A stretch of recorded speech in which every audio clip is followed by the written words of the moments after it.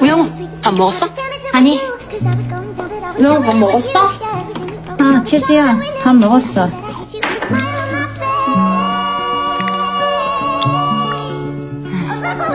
우영우가 웬일이야? 구내식당 밥을 다 먹고?